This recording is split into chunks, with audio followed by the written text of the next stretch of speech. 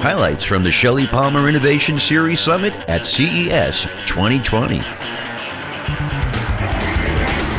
Working together to understand AI bias. Now, a lot of people talk about bias in the context of somebody couldn't get a mortgage because of where they live or what they look like, and the computer doesn't know, or someone couldn't get a job, and all of that bias is real. I'm here to tell you it is your responsibility, you individually, every single person in this room, to understand the concept of AI bias, not the way it's written about in the newspaper or the way it's sensationalized, but the actual way that it is. I have written chapter and verse about it at shellypalmer.com. There are many people who have written about it. It is probably the singularly biggest issue we are all facing because no one understands AI. And anyone who tells you they understand how a neural network works once it starts to learn is lying to you. You can't blame a black box if the black box says don't hire this person or evaluates a teacher a certain way, and you as an executive say, well, this is what the computer told me to do. I'm sorry, that's unacceptable. AI bias is the most important issue we are ever, ever going to deal with, ever as executives, because it's hidden from us. The largest AI project on planet Earth is Google Translate.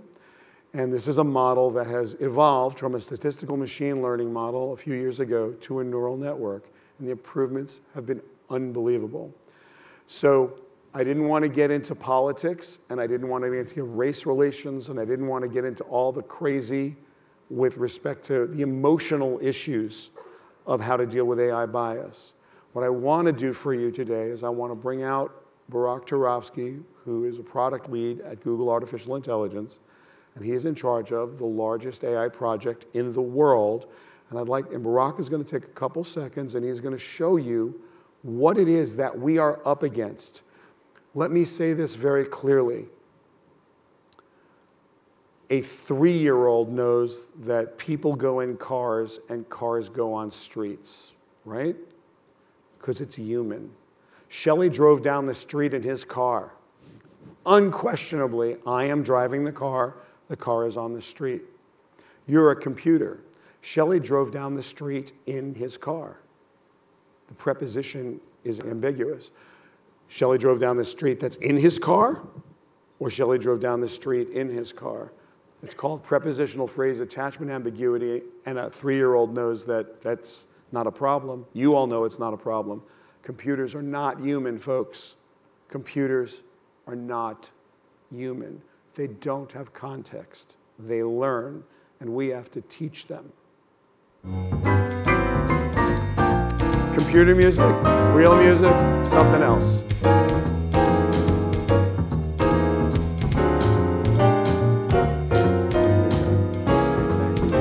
Please welcome Barak Turovsky, Product Leader, AI, Google.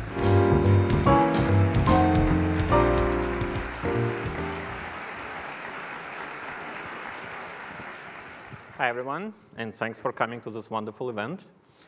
Hey, my good friend Shelly asked me to talk about one of his favorite topics, the responsibilities of big tech companies towards users and society at large. So I wanted to talk about artificial intelligence and machine learning, which is one of the hottest topics out there, and the biases that sometimes happen in AI and machine learning models, and what Google, as a, a leader on artificial intelligence, is doing to address these biases using one of the products that I'm responsible for, Google Translate. I'm generally responsible for natural, natural language understanding products, uh, product team at Google, uh, are doing to address those biases. So first of all, let's start with some context about Google Translate, and frankly, why do we need translations? And the answer is pretty simple. Uh, roughly 50% of the content on the internet is in English. English is de facto the language of the internet. However, only 20% of world population have any English skills, including basic English skills. And generally, 80% of the content on the internet are only in 10 languages. We have hundreds of languages in the world. Therefore, a lot of people, especially people in emerging markets that overcome the infrastructure barrier of the internet, thanks to mobile phones and Android, they come to the internet, but they don't know the language of the internet. Therefore, internet is not a very friendly place for them. That's why Google invests so much, so many efforts and so many resources into Google Translate, and that's why Google Translate is such, such a huge and beloved product. By the way, show of hands, how many of you used Google Translate? Wow. Thanks for being one of the more than 1 billion user base. So just a couple of stats. We translate 140 billion words every single day. It's mind-boggling even in Google standards. We have more than 1 billion active users. Not surprisingly, 95% of our users are coming from outside of the United States. Again, not surprisingly, more than 50% of our users are using it on mobile, and we have more than 800 million mobile app downloads. And one of the reasons we have a lot of mobile app downloads is that we evolved beyond just text translations. We're doing a lot of stuff using your camera. For example, a feature called WordLens that uses the power of machine learning and augmented reality to very quickly, faster than you blink, when you point the camera to a text, let's say a sign on a menu, it recognizes the text, translates the text on device. You don't need internet for that and uses augmented reality to overlay the translation over so it will look like it's in context. Another thing we are doing, we're using power of speech. We help people overcome language barriers not only through reading or writing, but also through speaking. You might have heard about Pixel Buds and translation feature that uh, is available there. Now, another thing that I consider myself to be extremely lucky that my team is on the forefront of machine learning research. Uh, if you have not read it, I highly encourage you to read a really excellent piece from New York Magazine from 2016 when Google Translate released their what's called neural machine translations. It talks about the history of AI from the 40s, from Turing tests, and as every disruptive technology, it went through ups and downs, what is called AI winter. And in 2016, there was a breakthrough that showed that neural, deep neural networks, what we call AI, are possible at large scale. And it's a really excellent article about how Google Translate, to some extent, gave, was the first product that gave rebirth to what we now call AI.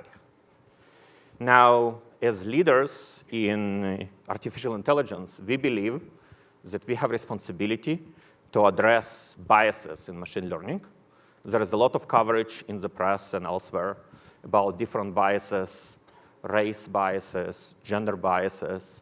Many products are affected by it, and Google Translate is affected by it as well. The, the reason is that Google Translate used crawl the web to find content that was already translated by humans. And this content goes back hundreds, if not thousands of years, actually thousands of years, one of the biggest sources of our translations in many languages is Bible. And you have deeply inherited societal bias in those translations. For example, doctors as a profession was male, exclusively male, for thousands of years. And nanny was exclusively or predominantly female for thousands of years. Therefore, if you have a language that is language neutral, or language ambiguous, for example, Turkish, you will get translations of she's a nurse, he's a doctor. She's a nanny, he's an engineer.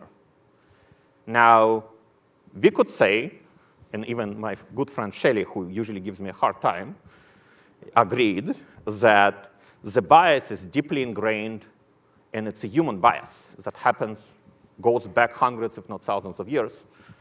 So therefore, Shelly said, Yes, it's a deeply ingrained bias. We cannot blame Google, or only Google for that. So he gave me easier time. But we believe that as leaders in artificial intelligence, we have a responsibility to society to deal with it. Google, that's why we developed and published our AI principles. And one of the important principles is that we will not create, and most importantly, we will not reinforce existing unfair biases. That's why we invest significant resources trying to address biases, starting with gender bias in Google Translate. And I wanted to talk, explain to you a bit about that. Now, the first question, it sounds very easy. It's probably a task for, I don't know, third grader. But the first question is, what do you do when you have ambi ambiguous gender? How do you resolve it? The first approach, that is what we, that what we did before, was just let the training data, data vote. If you have training data that shows 90% of the time doctor is male, just show male. That doesn't really address the issue. We can take a bit more randomized approach and just quote unquote flip the coin. Sounds a bit random, right? We could also try to adopt some gender neutral novelties. Some, some countries have language academies and they start to address this issue. They start to develop gender neutral, uh, gender neutral uh, approaches. The problem with that is that A, it's very new and languages tend to evolve very slowly. Therefore, when people have a need, it doesn't really address their need. Plus, we need to remember there is not only female and, female and male definition of gender, and that's another area where Google is trying to address. So what we decide to do is to effectively, if possible, to change the task. What it means is that when people make a query and ask for translation, they expect one result. If there is ambiguity on gender, we'll give them two results, and we'll explain why we're giving them two results. For example, on the right, you see a phrase in Turkish, o bir doctor, which is ambiguous. You don't know the gender. Instead of saying he's a doctor, reinforcing unfair bias, we will show both. She's a doctor and he's a doctor, and we'll explain which one is which and why we are showing it. Sounds pretty easy. As I said, maybe a task for a third grader, but it's actually very hard for machines. And the reason is machines has no notion or knowledge of gender at all. Therefore, we had to develop not one, but three machine learning models, machine learning systems to address this. The first one is to detect those gender neutral or gender ambiguous queries. The second one, generate gender specific translations, so you can show both of them. And third one is check for accuracy and actually filter out things that do not make sense. So let's expand a bit on that. So first, as I mentioned, detect gender ambiguous queries. For a child, for a human sounds very simple task, but, but machines don't have a notion of gender. So first you need to understand those gender-specific rules, and it's language by language. Then you, using those rules, you need to extract positive and negative training examples so you can train your models. Positive example is from him, from her, for example. Negative example is like at 10, it's completely unrelated to gender. You need to extract all those and start training the models. And then you basically train what we call a text classifier using machine learning. The second task is to generate male and female translations. So you extract, again, as I mentioned, in the data, machines don't know, machine learning systems do not know what gender means. They don't know which data is gen gender, which data is male, which data is female. So you need to extract this, human label it, and then start taking and training the data to explain this is male data, he's a doctor is male, and she's a doctor is female. And then, very important, you need to also find the optimal training process. In machine learning, it's always a trade-off between the size of the machine learning model and the performance you'll get. Also, please remember the translation task is not only about gender. There is a lot of things you need to do to, to create proper translation. So this optimal weight of training performance versus size, how you overweight or underweight the, the, the gender system is extremely important for overall performance of the system. And the last one is frankly my favorite, is how do you check the translations are valid and actually make sense? And let me show you an example. When you create a gender variance, you want to make sure the translation meaning sometimes is not changed. For example, he wants to make everything his own, she wants to make everything her own, makes sense, is gender consistent, you should keep it. But in some cases, the meaning of some words around gender is also changed due to intricacies of the training data. For example, did he really say this word? When you create a gender translation in female, it, it changes not only did she, she changes it to did she actually say those words. Sometimes it changes the meaning. And I will show you some even more extreme example. It's, it's, it was actually most fascinating, but the most difficult task to actually filter what we call incorrect results. And the reason is that sh you should never underestimate the power of a machine learning system that is narrowly focused on a very specific task. In this particular case, it was very good in producing male and female translations, even when those do not make sense. So a couple of examples. In this example, correct translation is, will you marry me? The task is gender translation. The computers created, will you marry her? Will you marry him? Another one is, did you come home? Has nothing to do with gender. If you get a task, did you come home to her? Did you come home to him? And my personal favorite, value added tax. If, you got it, if you got a task, machine translation is very good in producing those, so it will say her value added tax, his value added tax. So we had to work extremely hard to filter out translations that achieves the primary task of creating gender variance, but actually sometimes completely distort the meaning of the translation. So that's our story, and thank you so much for listening. For more information, please visit shellypalmer.com.